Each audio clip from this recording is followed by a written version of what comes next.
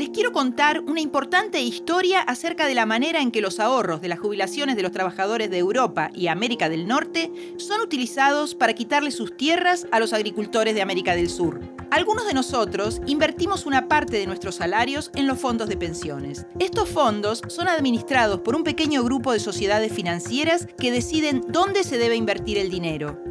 Si bien el objetivo de las empresas administradoras es el de generar las mayores ganancias posibles, estas deben cumplir con directrices que, se supone, deben garantizar que las inversiones sean ambiental y socialmente responsables. Cada vez más, los fondos de pensiones están comprando tierras agrícolas en todo el mundo. En Brasil, en la región de Bamapito, la agricultura a gran escala está en plena expansión y las tierras son muy codiciadas. Poderosos empresarios de Brasil utilizan el fraude y la violencia para expulsar a campesinos y campesinas de sus tierras, para luego revenderlas a los inversores extranjeros. Los conflictos van en aumento y muchas personas han sido atacadas violentamente e incluso asesinadas. Brasil tiene leyes que protegen a estas comunidades y prohíben a las empresas extranjeras comprar tierras agrícolas, pero algunas empresas han encontrado la forma de burlar estas leyes.